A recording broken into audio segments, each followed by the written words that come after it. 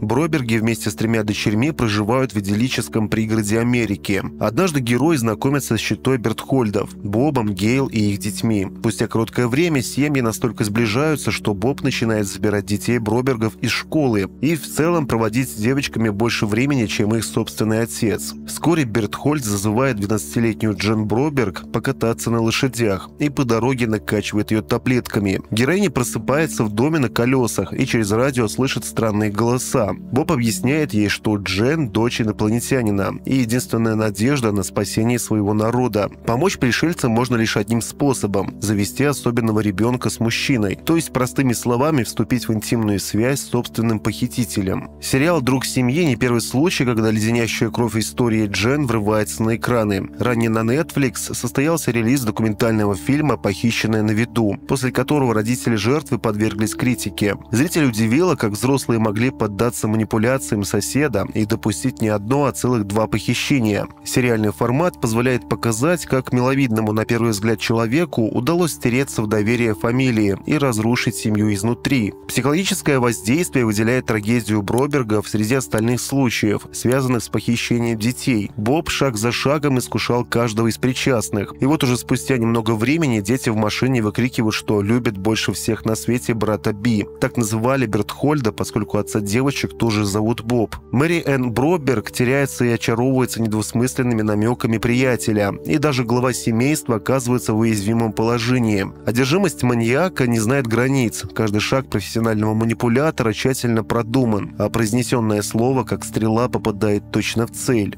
Как таковое насилие остается за кадром, по крайней мере в первых трех вышедших эпизодах на данный момент. Но от этого шоу не становится менее пугающим. Ужас заключается в том, как бытовое зло медленно проникает в безмятежную повседневность персонажей. Броберги глубоко набожные люди, чьи дети растут на Евангелии и с удовольствием уходят в церковь по воскресеньям. Берт Хольд для них практически сатана в овечьей шкуре. Мужчина якобы всегда хочет как лучше, но из-за присутствия Боба появляется все больше и больше трещин в семье семье. Сериал «Друг семьи» можно воспринимать как разбор правдивой истории ради жанрового воздействия. Трукраймы традиционно грешат паразитированием на страдания жертв. Судя по первым эпизодам, авторы в первую очередь сосредотачиваются на преступнике, делая из Боба настоящую сенсацию. Но, несмотря на оптику, цель сериала видится в простой и жизненно важной мысли – изобразить, как легко неокрепшие умы могут поддаться под чары насильника и какими бдительными необходимо быть родителями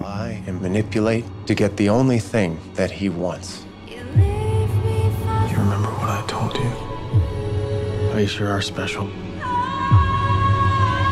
Who is her father? Him or me? Gail? If you knew something, you would tell us, right?